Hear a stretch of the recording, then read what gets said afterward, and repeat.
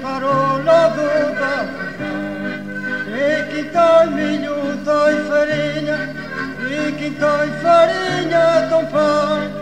e chi dai minuto e farinha e quem dai farinha ton